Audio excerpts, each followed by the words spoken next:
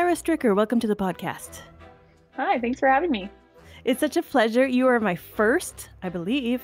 I hope I'm speaking correctly here, but you I think you are my first TikToker and I'm super stoked about that because I'm kind of a little hooked to TikTok right now.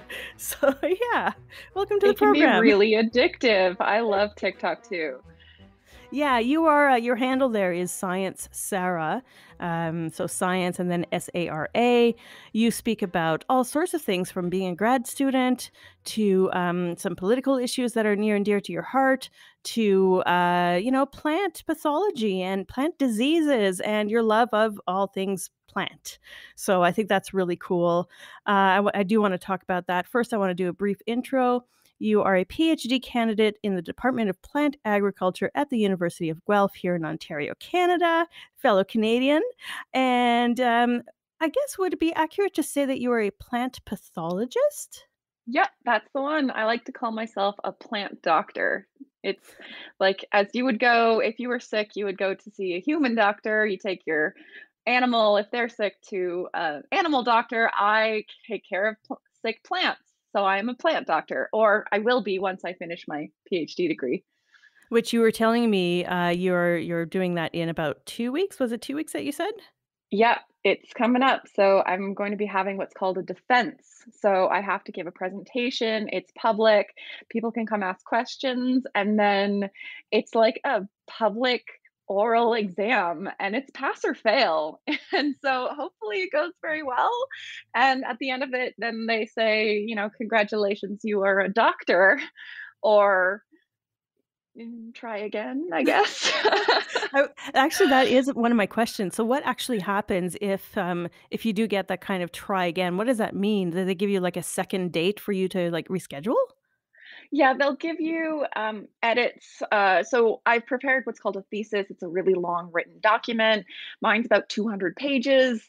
Um, and it just shows all of the work that I've done in the past four years and then my defense. And then they ask me questions. And so if I don't answer those questions right, if I'm answering really, really wrong, that might be a problem. If there's something really, really wrong with my thesis, they might just send me away and say, like, you need to go do this, or there might be an extra experiment I might need to do.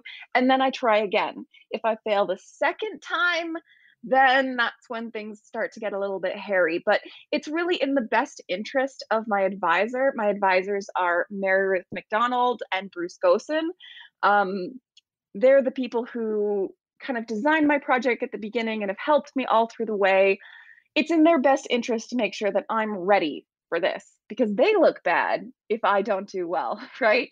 So I'm pretty confident that um, Dr. McDonald and Dr. Gossen have pre- prepared me to do this. So I believe I'm going to pass.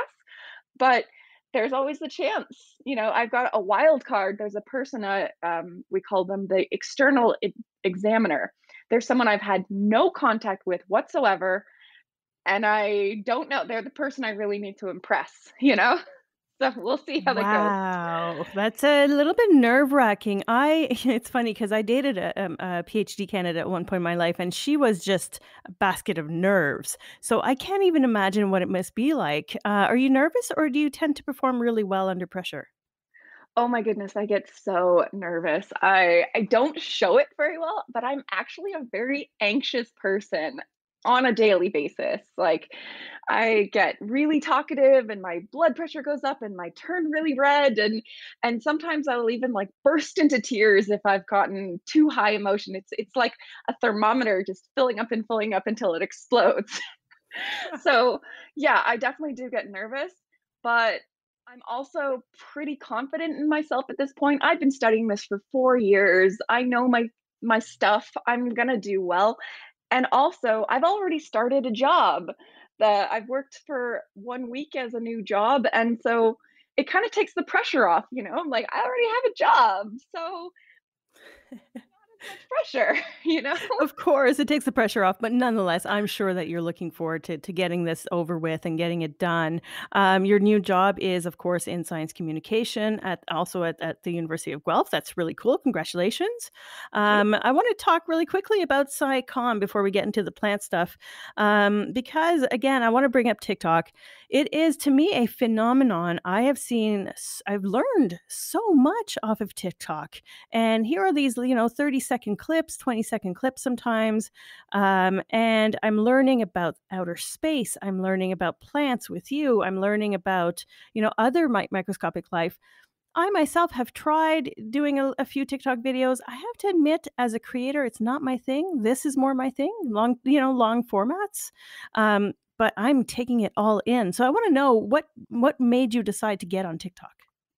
Well, I first just was watching other people on TikTok, and I thought, "Wow, that looks really fun," and I grew up in the age where YouTube was brand new and and I always kinda wanted to do something on YouTube, but I didn't really have the time to do, you know, like, set up, get the equipment and and everything, but TikTok is so easy, you do it from your phone, you don't need anything. I mean, I got headphones, you know, Bluetooth headphones so that they connect with my I get some better sound off that, but that was really the only investment.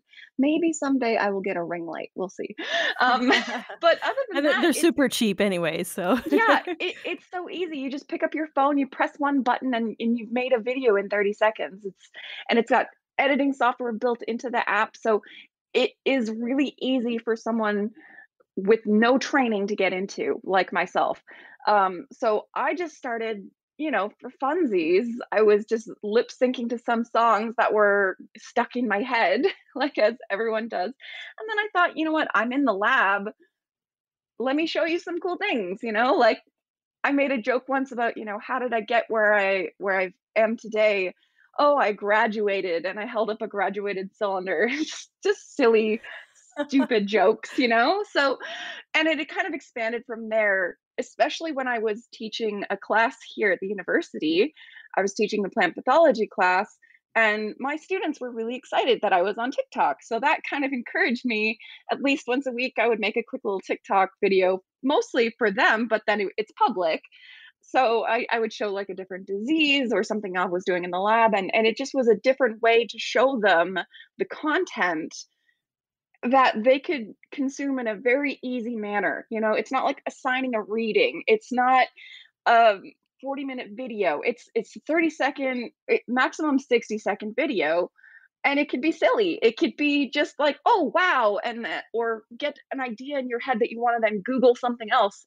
So, I think it's really cool. And and yeah, I've also talked some other things about, you know, like the Every Child Matters, um, like the Orange Shirt Day, Pink Shirt Day, different, um, events and try to raise the voices of other creators as well if I can.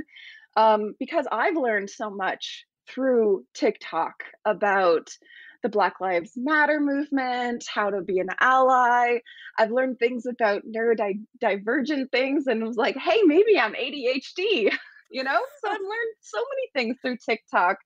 And now Bill Nye is on TikTok too. So I feel, you know, now I'm on the same kind of platform as Bill Nye, and I feel a bit more pressure to to put some good quality out there. Well, that that's something I did wanna talk about is the pressure, but also the vul vulnerability because it takes a lot of vulnerability to put yourself out there, to to not Mhm. just, you know, do science videos, but you do things that are, uh, sometimes a little bit more personal, you know, it's kinda nice because we get to know you, like, who is Sara, but also, you know, you just told me that you're a super anxious person, so I'm wondering how do you tackle the vulnerability of making Tik TikTok videos? Yeah, and there was one video that I had that blew up and it got a little bit out of hand. I got really worried about it. Um, so I am in the LGBTQ community, and my partner and I were planning to get married uh, in April of 2020. And I tried on what would have been my wedding dress, and I was really sad, and I showed a video of me in my wedding dress, and it's sort of, um, a two-piece Indian style dress with intricate gold beading, uh, things like that. I was very sad, I was just wearing it to be like, "Hey, this is what my wedding dress would have been like," and we canceled our wedding, and Oh. that blew up, and it was not all nice comments. Some people were like, "Oh, that sucks. That I'm really sorry to hear that." Other people were saying, "Oh, you're a white girl and you're, um, appropriating our culture. Oh, this is the wrong color. Oh, this and this," and they all had opinions. I had I considered taking that video down. I I ended up having to turn off comments on it because it was blowing up on my phone. Mhm. Every 2 seconds, I got another notification. Um, and that's where I was like, "Wow, I really have to be careful about what I put out there because there are people who have really strong opinions." Um, and so I I held back on a bit. I do show a little bit of my own things, but I mean, I just I I now I do have a little bit of a filter. I'm I have to be cautious about what I put out there, but I also am proud to be a gay scientist, and I think it's important to have visibility, especially for our youth, um, to be, you know, I'm a woman scientist, I'm a gay scientist, I'm a neurodivergent scientist, and you can be too. Uh, because when I was growing up, I didn't have any of those role models. My role model was Bill Nye, you know, a white cis male. But I met in high school a female who had a doctorate. It's the only person probably in my life before I came to university that was a female, that was a scientist, that was a doctor, and she really drove my passion for science, and I'm eternally grateful if Dr. Denica, if you're talking, if you're listening to this, thank you so much. Um, Have you reached out to her? I actually did. I found her on Facebook um, a couple weeks ago just to tell her, be like, "Hi, do you remember me from high school? I'm defending my doctorate, and you're invited, and thank you." Nice, that's so sweet. Um, yeah, it's it, it is something um, to to be able to to create, you know, to to also produce what it is that you want to produce. It is your channel. It's not, you know, under the university's scope and and things like that. Is most of your audience are they also other students and scientists, or are they just mostly the like the general public that's just all of a sudden discovered you and learning about plants and stuff? That's a good question. It's actually really hard to gauge metrics on TikTok because I have like 14,000 followers, so I don't go through and, you know, check them all. The only information you can really get from them is is a tiny little icon photo, which sometimes is them and sometimes not. It could be anything. It could be a picture of a monkey, you know. Um, and then sometimes people put a couple words in their bio, but that's also character limited. So I don't really know a lot about my audience. I would guess that I have the range. I know I have some TikTok friends that they message me on on TikTok and they are also creators and they are old enough to be my parents. I also have some TikTok users who are young enough to be my child, you know. So there's the whole range. I do think that um, whenever I tag, you know, university, I get lots of university students.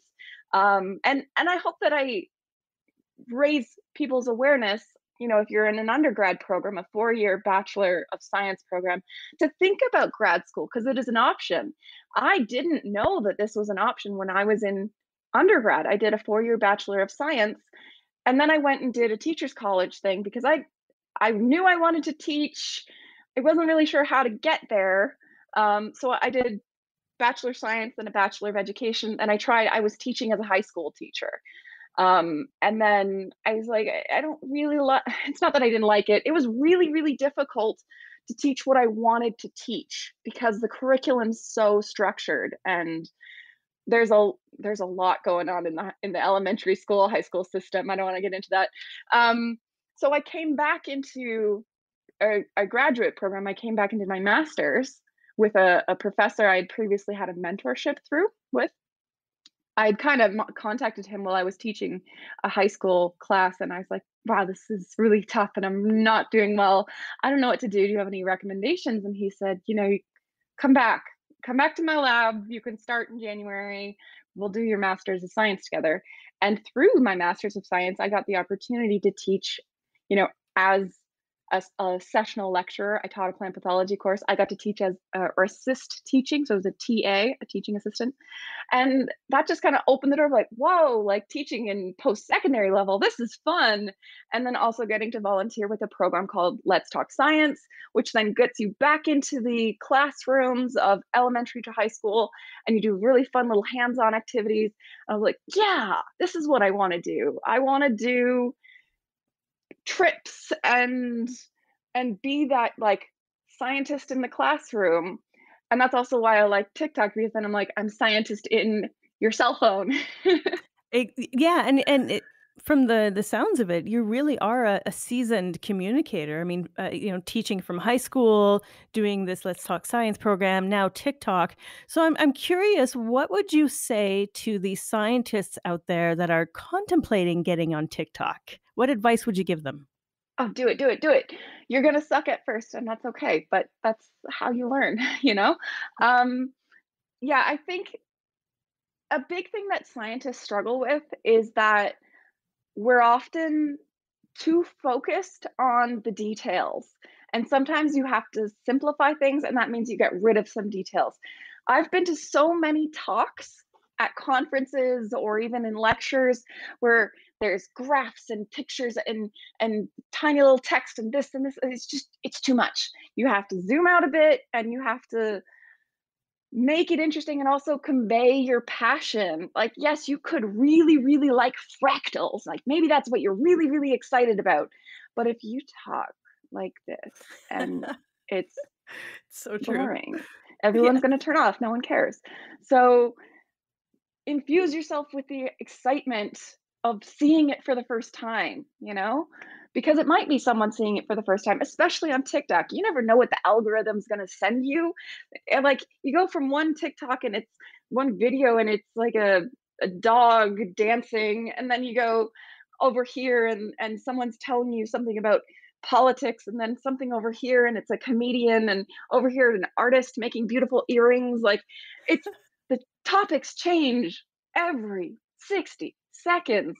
So you have to be able to make something interesting for someone like in the in the first 10 seconds.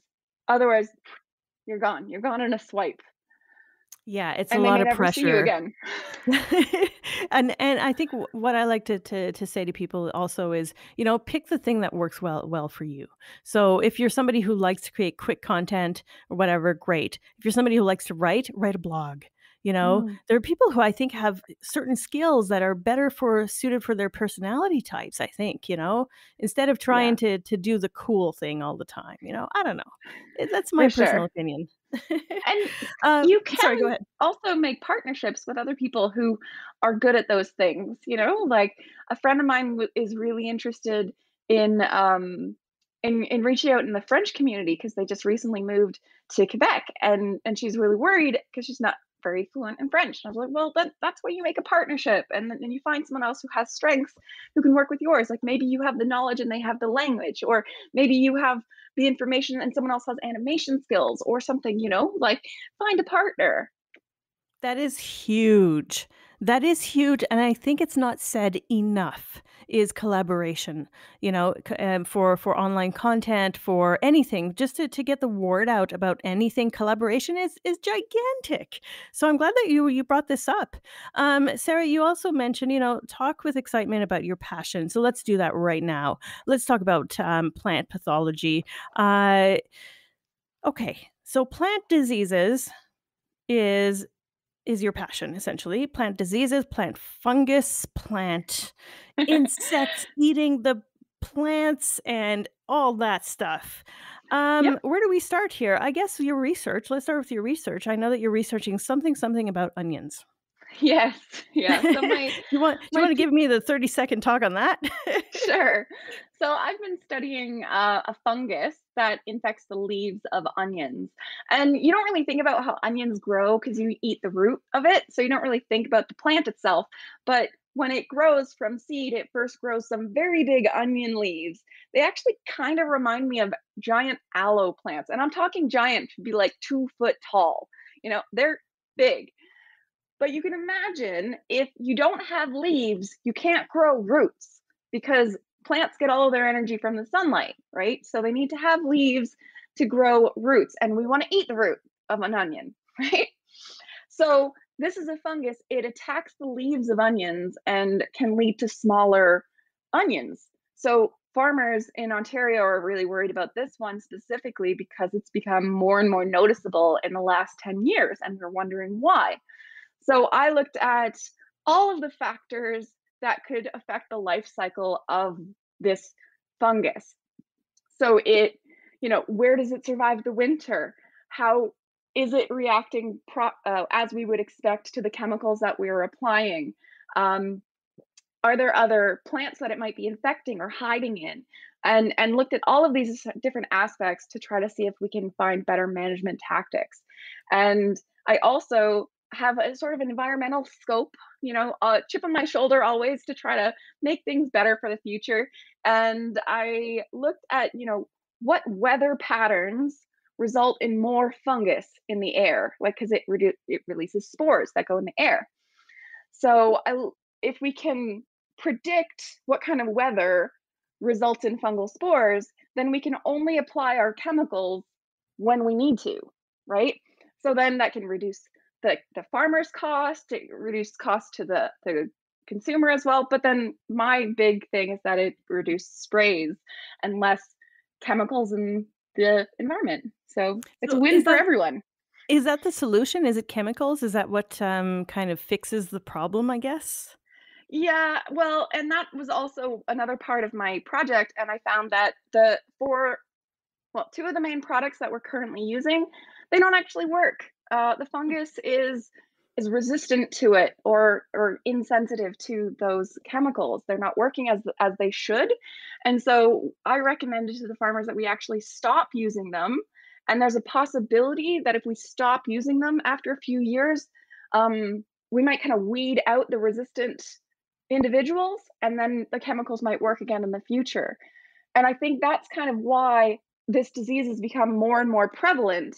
It's because our chemicals have become less and less effective. It's not that the disease got worse, it's just that our chemicals don't work anymore.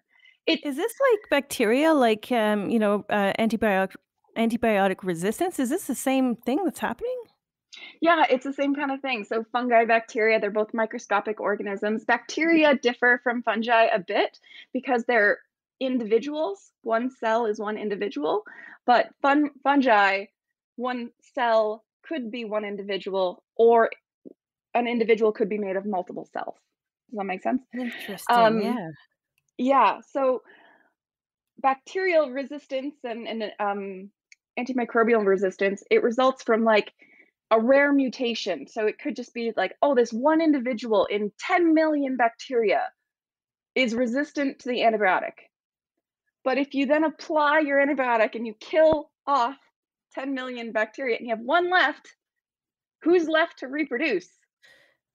The next generation is going to have that mutation. And that's what happens, you know? um, over multiple, multiple re- um, applications of the same antibiotic, or in this case, fungicide, we actually increase the number of individuals in the population that are resistant.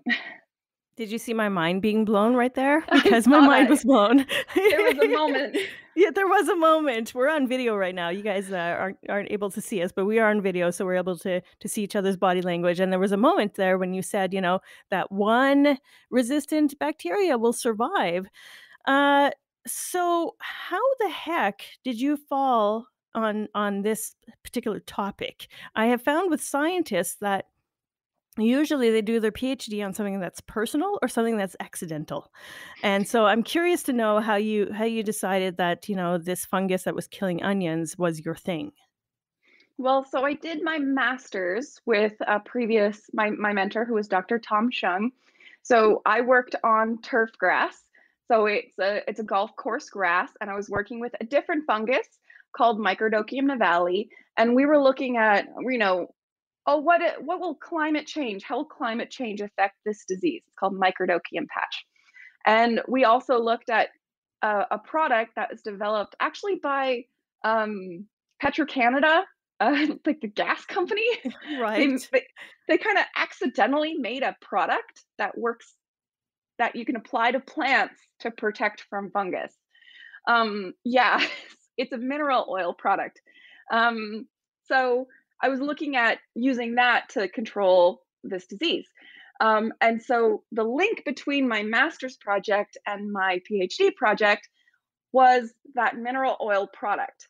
Um, I used it for my master's, and then I heard through the grapevine that Dr. Mary Ruth McDonald was interested in trying that product on onions. And I was like, all right, sure. So I kind of followed the product into the onion field.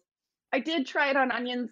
It didn't work. And it's also way too expensive to be applying. It's like over a hundred times more expensive than a fungicide. So it's not going to work, unfortunately. But that's how I got the connection. Um, and why this disease on this crop, that kind of got directed by the growers. Um, we actually at the the research station is called the Muck Crops Research Station. Um, it's called muck crops because it's any crop that grows on muck soil. It's a very marshy. It was a marsh that was drained, so it's very moist, very organic matter uh, content. It's almost not even dirt. It's just like compost almost. It's great. So, anyways, it's the Muck Crops Research Station and they have a really good relationship with the growers nearby. They have a growers association, and the growers will come to the research station and say, I see a problem with this. My neighbor also sees it. This guy sees it. Like, this is a problem in our fields. Please help. Um, so that's they they fundraise together in their little growers association association and they they gave us like I don't remember how much it was let's say it was $500 but then we say to a bigger funder like the like OMAFRA, that's Ontario Ministry of Agriculture, Food and Rural Affairs. It's the Ontario government agriculture people. And we say, hey, look, these growers, they really want us to do this research. They gave us $500. Can you give me more money? and Does like, that oh, work? Growers, yeah, if the growers yeah. really want it enough to give you $500, here's $20,000. I don't know. I, I'm just, I don't know how the, the, the money actually works exactly, like dollar sign amount. Um, but that's, that's kind of how the story goes. So because and we I have this that. good uh, sorry to interrupt, but I, I just love yeah. the fact that you have this relationship with directly with the growers, right? We usually think of like uh, science being separate from from the rest of the community or whatever, but the, this looks like you guys are really working hand in hand with the growers and kind of you know getting information flowing. I would assume back and forth with them. I'm going to be a little bit selfish here because I'm actually originally from northern Ontario, so the Sudbury region, and yeah. uh, you know from a family of of growers. So they were uh, in agriculture. My grandparents, both grandparents. I'm I'm, I'm going to be selfish because, because I really want to know: Does this uh, fungus also affect Northern Ontario? Yeah, it can actually be anywhere. Um, there was a suspicion that it it came in from like Mexico on like um you know transplants or something or or other material or plant material. But honestly, this disease, this fungus has probably been here forever. It's just not really been a problem. Um, and yeah, it can go all the way up to north. It can definitely go up north. Um, it can infect like 500 different plants. Uh, yeah. So this is not just an onion problem. No, no. It's not a big problem on a lot of crops, but it is on it is a big problem on asparagus and it's a big problem on pear. So what is the connection between asparagus, pear and onion? I don't know. I'm not a taxonomist. I need a botanist to figure that out. It just it it's a big problem in asparagus and pears because on on pears it causes little brown spots on the actual fruit and then no one's going to eat them. They look gross. And on asparagus it causes little purple spots on the spears. And again, no one wants to eat that. And the crazy thing about asparagus is that you cannot spray fungicides on asparagus because you literally have to harvest it every single day. Like the amount, the, the, the eight inch asparagus that, that grew, like that was like overnight. They go out and cut it with a knife every single day for like four weeks so you can't put you can't spray fungicides on it because you need to cut it and put it on your plate. That's how fast it's going. Wow, yeah, it is it is very complicated. I mean, you know, my one of my aunts really pride had pride in the fact that she never used herbicides or any any kind of sides, put it that way, pesticides, herbicides, you you, you name it. Um, but I you know, I I don't know how she managed to grow such beautiful crops. I wonder if it's just that farmers kind of get used to you know, handling things their way, like picking up bugs, uh, you know, hand you know, by hand or whatever.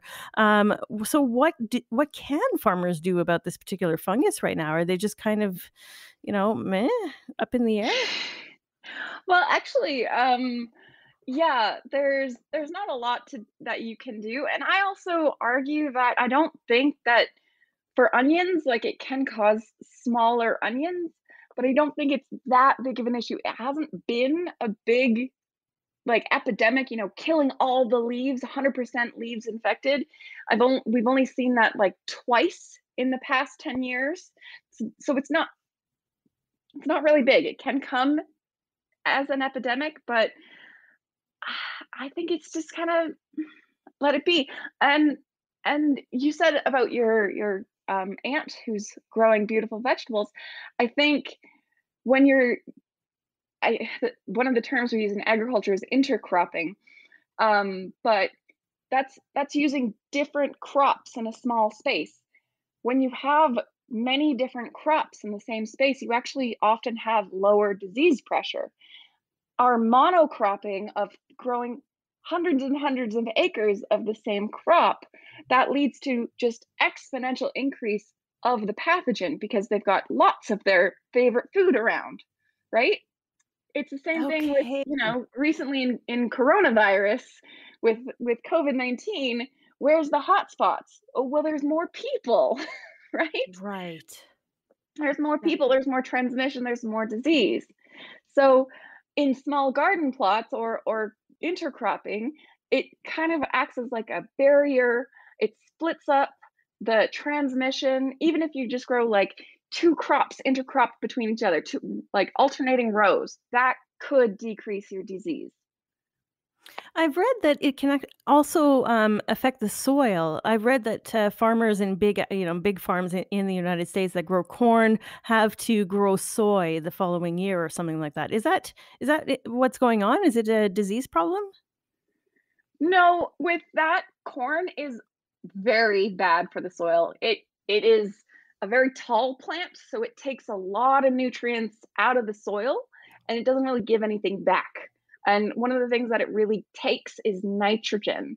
Um, so we have a lot of nitrogen in the air that's not actually accessible. It has to be fixed nitrogen. And one way that nitrogen can get fixed is randomly through lightning strikes, and we know how often that happens, and and by beneficial bacteria. Eh, so corn doesn't really have a root system that supports those beneficial bacteria. However, soybeans and any of the legume families, any of the beans, they actually produce a little home for the bacteria in their roots. They're called nodules. So it's like a, a root going along and then a little white bump, and then a root and a white bump. And in each little white bump, that's where the bacteria, it's like, hey, I built you a home. Please live here. And the bacteria live inside the plant, but then produce and fix nitrogen into a usable form for plants. So by growing soy, it actually puts more nitrogen back into the soil for the next crop.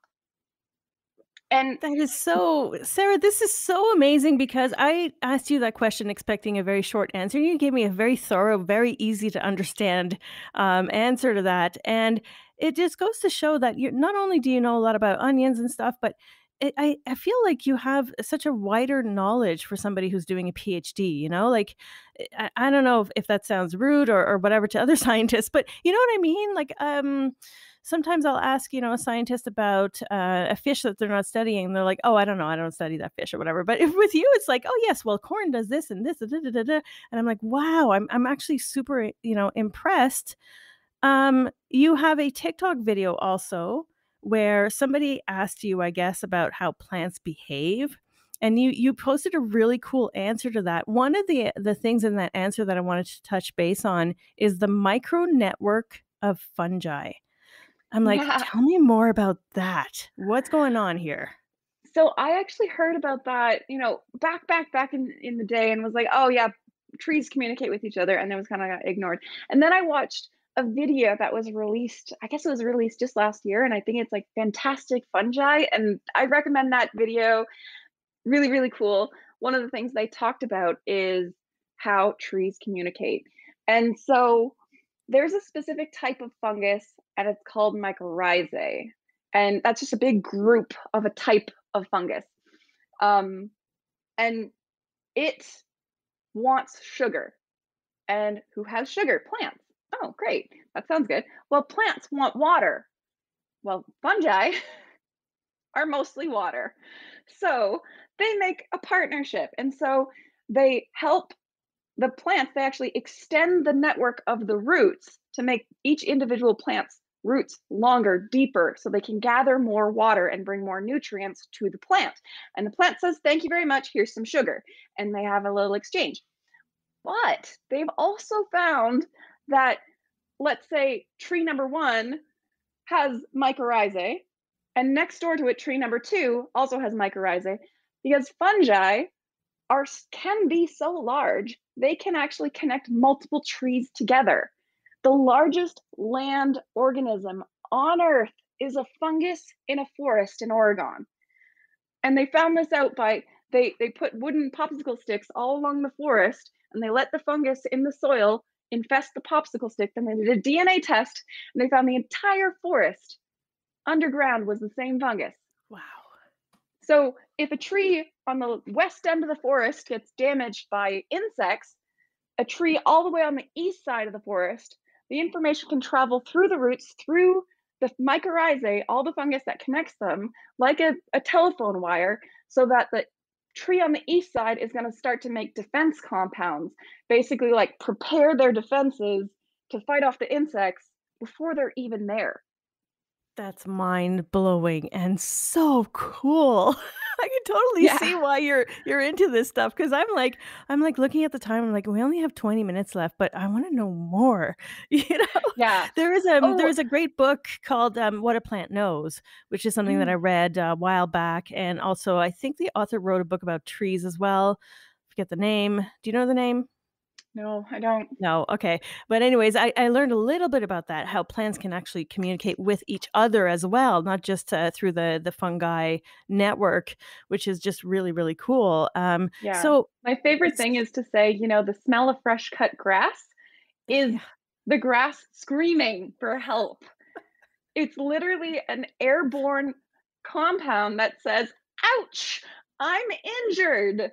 And nearby plants can smell that, can sense that, and then produce, you know, sort of compounds that will like produce scabs, you know, like how we, you know, when we get cut, we'll produce a scab. So they will produce the compounds that can block cuts before they're even cut. Yeah. so funny because because, you know, they're they're yelling out, going, out and we're going like, "Ah, this is a beautiful summer day, freshly cut lawn." Uh, I I would imagine as a plant scientist that you must be very much in favor of people creating kind of wild grown lawns, right? Uh, for pollinators and all that stuff. Uh, do you, uh what are your thoughts on that?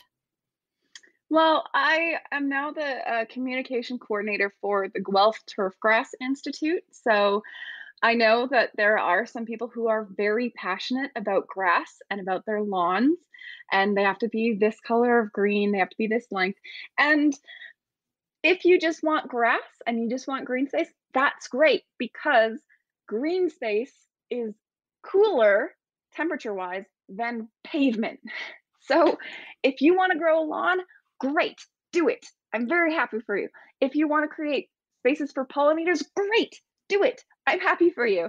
Either is good, but I I am uh, cognizant of of pollinators and and there are many different types of pollinators there's bees there's flies there's hummingbirds so whatever you can do in your own space that you're comfortable with and you're able to maintain do it i'm s and totally in support of you can everyone hang a um, hummingbird feeder in their backyard no probably not can everyone grow um, a huge garden full of pollinator plants. No, and that's okay too because it you have to kind of decide what you can personally do and maintain and and that's good, you know. Don't go out and plant a bunch of um pollinator friendly plants and then not water them. That that doesn't make sense. If you're not gonna water them, just just grow grass. You know, grass can survive so without. it. So just figure out what works for you and and do that. I, I'm not going to force everyone to be, you know, you must plant this and you must plant that. And you got to keep the dandelions. You want to keep the dandelions? Awesome. You don't want the dandelions? That's okay too. It's a very fair assess assessment, and I I really like the the fact that you you re reinforce the fact that green is cooler than the pavement, you know? You you you know that just going outside in a parking lot versus going outside on a freshly cut lawn. I mean, you can just tell. Um. Question about lawns. One of the things I noticed when I visited Europe in 2014, I think, is that the grass is very short. I mean, there are rolling hills of grass, and it's not like this monstrosity, not monstrosity, but you know what I mean? Like, it's not like this super deep, tick laden grass that we have to worry about here. They have this like short grass that nobody's cutting. Is it hmm just a different species? Well, you know, the game of golf, think about where that originated from, right? That came from like Scotland, Ireland, England kind of area. I'm not an expert. I don't exactly know where the sport was born, but the sport was born because they had that kind of field naturally. They're like, hey, look at this nice area. What if I had a ball and I, you know, kicked it around and got it into a rabbit hole? That's naturally occurring space. That's just how that ecosystem works. Grassland is a large part of that ecosystem, and we can grow it here. And and there's also uh, areas of New Zealand that look very much like that. You know, you know where they filmed Lord of the Rings, and and yeah, you you know, um, those grasslands are are not maintained.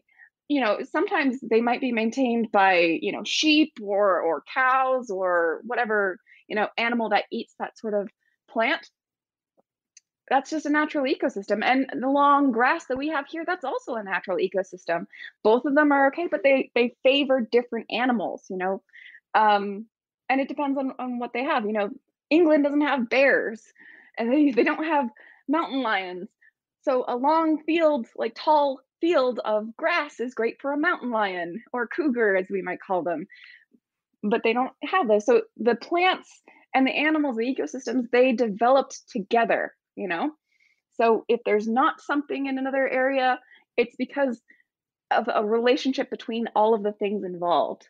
The ecosystem is as an ongoing relationship. Yeah, it makes a lot of sense. Yeah, I, I mean that's what I figured. Uh, uh, you know, you're overseas, so of course the grass is going to be different, Julie. You know, uh, one of the videos I really like about uh, th- that you did on TikTok is about boring science, and the reason I like it is because it really reinforced the fact that. Uh, uh, well, it also explained why I didn't become a scientist because I'm so easily bored. But also, it really reinforced the fact that, like you said, science is repeatable, it is measurable, and it is boring for that reason. And it's something to be embraced. It's not necessarily something that we need to look down on. Uh, so, did, were you were you getting flack from that? Is it just something that you were passionate about? Is that why you decided to talk about that? I was getting really frustrated with a lot of people saying that the COVID vaccine was unsafe, that it was developed too quickly, that there was turning you into a magnet or GPS unit or something. You know, I don't trust scientists. I don't trust those big chemical companies. That's what I was getting really frustrated with, especially in the news. Um, and so I wrote that, you know, maybe our vaccine was sped up faster than other vaccines have been in the past, but that's it's not like they just pulled it out of nowhere. We've been developing vaccines for decades, and it is a very boring process. And that's why it's safe because we do it all the time. It's not just someone that ran down into their backyard or into their basement, um, mad science laboratory and put some chemicals together and exploded and wahaha, I can save the world or ruin the world. That's not what it is. I do do a lot of, you know, wow science. And that's like the, you know, here's a chemical change, here's an explosion. Like those are the things that like get your attention. But then when you love science, that's when you go into the lab and pipette. So a pipette is just like it picks up small amounts of liquid and and and moves it. And that's just like It's almost like clicking a pen up and down, up and down, up and down, hours, up and down, up and down. And that's what you got to do. You're going to be pipetting for hours. You're going to be measuring leaves for hours. You're going to be sifting soil for hours. You know, it's boring.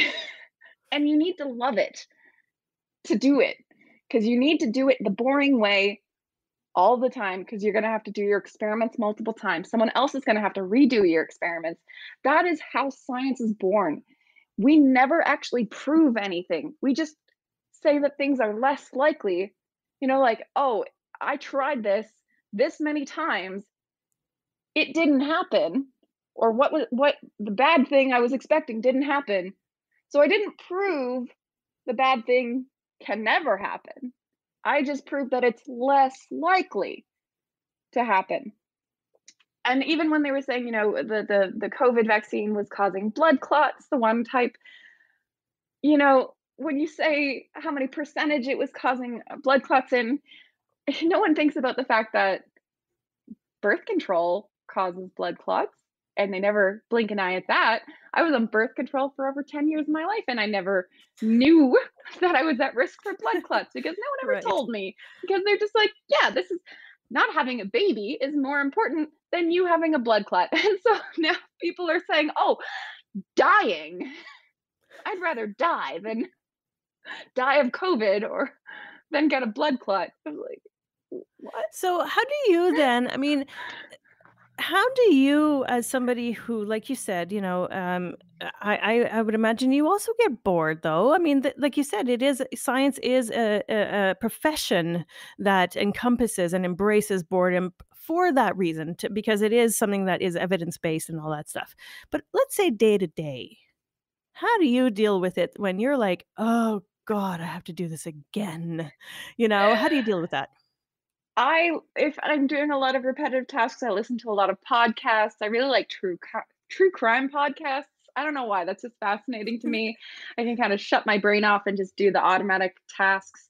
Um, I listen to music, um, and I don't know. I get excited when I know that I'm going to be able to collect data because when I actually get the numbers at the end of the day, and then I can go put them into my statistics program and get the result. That's what that's what drives me. Um, so yeah, I know that there's lots of boring things in between. One of the boringest thing was having to drive an hour and a half every day to get to my field. That was boring. Why but, did you have to drive that far? Because the muck soil only occurs in certain areas, so I don't live near them, and so I had to drive there. Can't move the field to me. That's too bad. Um, so, okay, so yeah, I guess it sounds like you know in in deep inside your head that it's leading to something. It's kind of like farming in Minecraft. You kind of know that eventually, you know, you're going to get some iron and eventually you're going to be able to build a uh, you know, armor. Um, but that takes It is time. exactly that. It's looking for diamonds in Minecraft. That's that's the yeah. You just Are you a gamer? going tick, tick. I've definitely played Minecraft. I used to play World of Warcraft. Um, Mhm. yeah. Nowadays, I'm more Animal Crossing. That's my, you know, little getaway into my island of friends that are cute little animals. I enjoy that a lot. That's my my my kind of upcoming guilty purchase, I think, is gonna be to get one of those, um, Nintendo what do they call them again? Nintendo Switch? The Switch. Oh god, I'm Yeah. having a brain fart. Uh, but yes, the Switch is the thing that I haven't been able to justify to myself to buy, but I really want to play Animal Crossing. Uh, so can yeah, no, you I can mean, play it on the DS. I have it on the DS still. I got it from, don't like, 10 I years ago. The don't. yeah, it's fun. I don't have There's a anything Nintendo. Man, I I played Animal Crossing back when it was on the GameCube, okay? Like no, no, sorry, that was Harvest Moon. Very similar game. But, um, Right. I I I've been an Animal Crosser for for a long time, let's just say that. Why don't you do Twitch? I never got into it, you know? Um, I that was one of the things I don't feel like I could talk that long on my own without someone else you know, you're you're guiding my my speaking here by asking me questions. If I were to just talk alone, I would run out of things to say, I think. It's funny because I, uh, I've recruited, let's say, a ton of scientists to Twitch because that's what I was doing last year. I was on Twitch. I, I was doing a microscope stream. So, and I've always found it super weird. And one of the reasons why I've kind of, I don't want to say abandoned, but paused Twitch is because, like you said, this feedback is a lot more fun. Uh, you know, when you're talking to someone and getting to know them and talking about, you know, science stuff and non science stuff and speaking of the non-science stuff, what do you do? So now we've learned that you're a gamer, but what do you do outside of gaming and, and science um, and taking care of probably a bazillion houseplants, I would imagine? what do you do for fun? As a plant pathologist, I kill plants. I actually only have one house plant right now, and it is just barely hanging on. How is Um, that possible? because I only keep plants alive long enough to put fungus on them and kill them. That's what I do. Um, no, I I actually really do like gardening. I have a garden outside, and and like you said, uh, with pollinators, I've been trying to plant um, plants that are native to North America, like uh, foxglove or delphinium, things that pollinators are going to enjoy. Um, and you got to think about different types of pollinators. So, like these ones are really good for bees, but there's like there's lots of different types of bees. So I've been learning a lot about that. Honestly, all of my hobbies are science. Everything is science in my world. Um, I also like puzzles. Um, I I do woodworking and wood burning, so I'm a bit of an artiste. Ooh, Yeah. that really interests me because that I think is going to be the next thing I'm gonna I'm gonna get into is woodworking. Uh, what are you making? So I've previously worked with a friend of mine. He built a bunch of bird houses and then I would design, you know, I would draw birds on them with a burning pen. Um, just recently I helped my my partner do a project. My partner's a teacher and they were doing an art project, so they needed a bunch of wood to make nail art. So I cut out 50 pieces of wood and sanded them all for them. You know, I just I tinker. I like to build, you know, the odd shelf. I built a, a nail polish shelf for my friend because she was complaining that the brand she got, the shelf was too tight. It couldn't fit them in the one type of nail polish. So I got the nail polish and I, I built a shelf for her. You know, my my dad was uh had a machine shop in the backyard and so he always kind of taught me all the different tools and he said that I can make something out of anything, you know? And I've I'm I don't want to say I'm a, a hoarder, but I always keep things of like, oh, I can make that into something. And so I'm always tinkering and making things. It sounds to me like your dad, uh, I mean, I'm assuming you're probably almost the same age as me. Are you like almost are you like 40-ish, let's say? yeah. I I'm a 90 baby, so I'm 31 this year. 31, okay. Well, uh, uh, the the the only reason I said that though is because you, uh, knew some of the pop culture references that I said, so Yeah. and, um, but it sounds like your dad really kind of treated you like somebody who wasn't limited by the fact that you were a girl, you know? Like, it my dad was the same way. He'd be give me a hammer, he'd be like, "Go do this," you know? And and none of the other girls were, like, playing with hammers and tools. Yeah.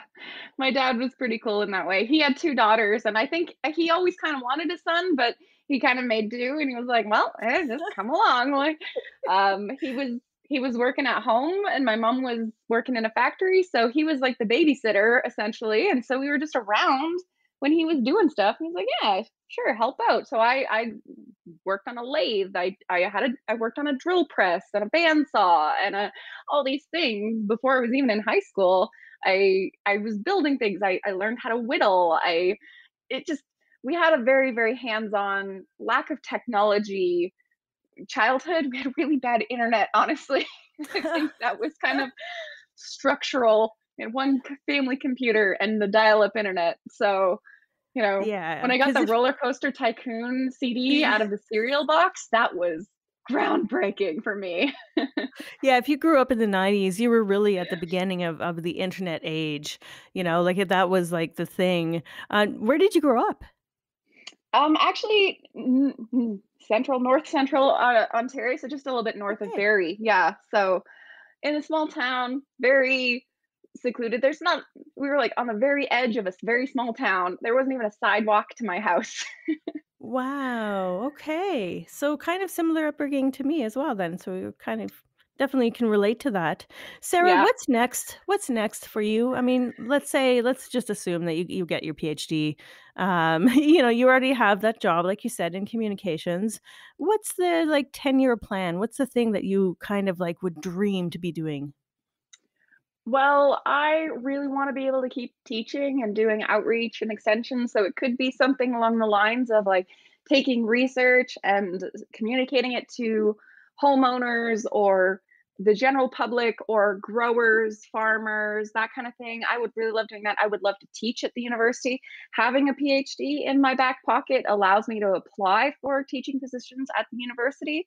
And I've I've like I said, I've taught at the university and I've also been a teaching assistant. And uh, some of the te- professors I've worked with have said, you know, you're more qualified to teach this than I am because I have, they don't hire professors based on teaching qualifications. They hire them based on research qualifications.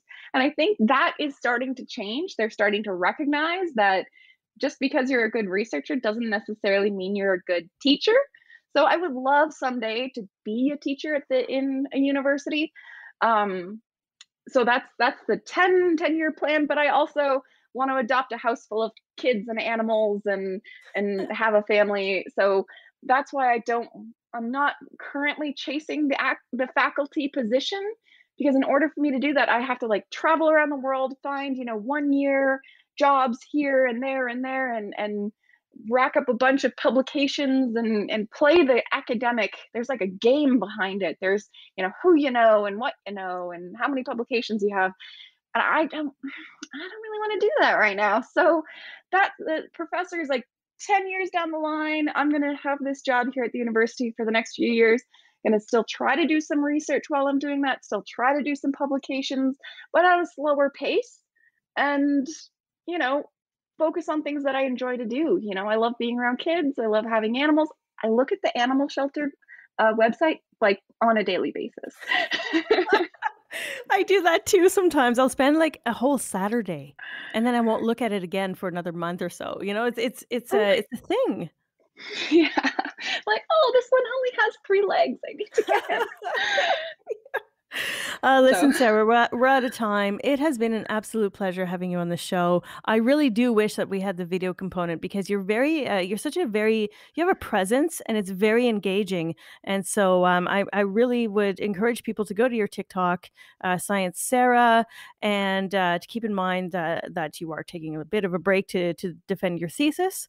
And um, I hope you'll come in the program again because I would love to talk with you again and follow up and you know, just learn more about what you're doing. So thanks again for coming on the program. thanks for inviting me. It was a lot of fun.